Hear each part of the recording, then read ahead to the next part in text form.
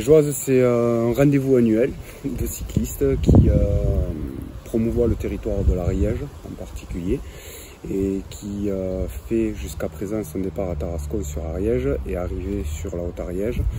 Et cette année en particulier, ils ont fait euh, le départ et l'arrivée sur Tarascon sur Ariège. ce que ça a créé, c'est que ben, au lieu qu'il y ait une épreuve le dimanche avec un départ à Tarascon et le samedi avec un départ à Tarascon et le dimanche un autre départ délocalisé pour le VTT.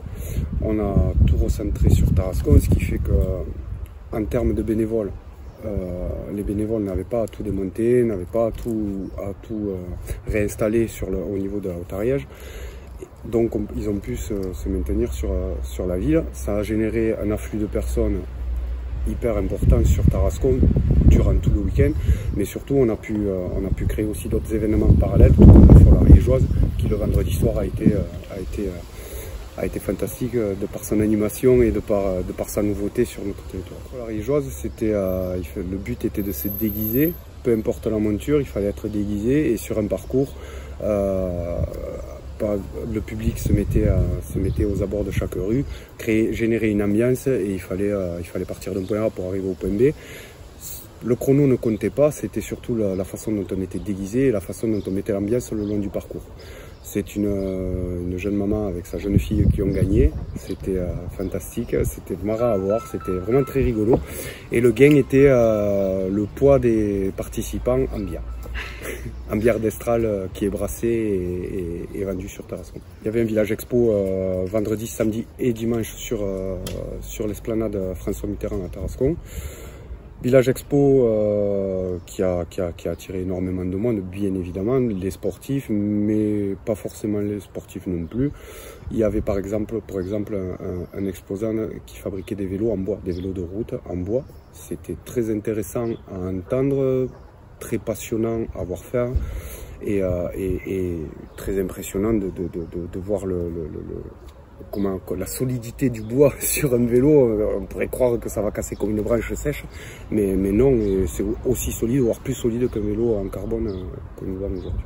Il est intéressant aussi de promouvoir les, commerçants du territoire sur ce genre de village, étant donné que faut savoir que la Riégeoise quand même euh, rapproche presque une soixantaine de, de nationalités. Je pense même me tromper dans le chiffre, je pense que c'est plus.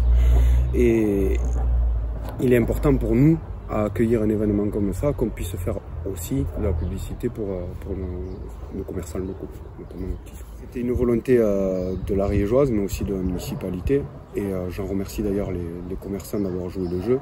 C'était de pouvoir se mettre aux couleurs de la Riégeoise tout simplement, que, tout le, que la ville, que le bourg-centre de Tarascon puisse puisse exprimer sa joie d'accueillir la Riégeoise et les commerçants ont, vraiment bien joué le jeu en, décorant toutes leurs vitrines euh, en, mode ariégeoise, quoi, avec des, anciens maillots, des nouveaux maillots aussi de l'ariégeoise, avec euh, des mannequins. c'était vraiment, euh, vraiment sympathique, sachant qu'aussi pour, pour la folle ariégeoise, et notamment un peu partout sur le tracé de la folle ariégeoise, mais notamment dans la rue du Barry, dans la rue du Barry, les habitants avaient mis, euh, des, maillots d'ariégeoise partout. Enfin, c'était vraiment, euh, tout le monde a joué le jeu et c'était euh, vraiment D'après ce qu'on a pu comprendre, la volonté du président Patrice Vidal, ce serait de, pouvoir pérenniser ça parce que certes, Tarascon, on, s'en retrouve heureux de cette situation, mais il faut savoir que si euh, l'Ariégeoise a décidé de faire ça, c'était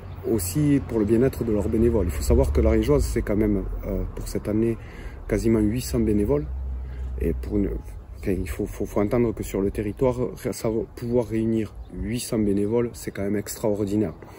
Donc de pouvoir leur, faciliter la tâche, entre autres, je pense que c'est une situation qui va devenir de plus en plus pérenne et je pense que oui, l'année prochaine, très certainement, on fera un départ et une arrivée à Tarascon. Tout du moins, c'est notre souhait. Et, comme cette année, euh, les agents municipaux seront, euh, au service de, la Riégeoise pour pouvoir mener à bien cet événement. Euh, comme je viens de parler des agents municipaux, il faut, comprendre que c'est un travail immense qui a été effectué par nos agents. Je les en remercie parce qu'ils ont joué le jeu. On les a mobilisés le week-end, on les a mobilisés deux voire trois semaines en amont pour pouvoir tout installer, pour pouvoir accueillir tous ces touristes dans une ville propre, accueillante.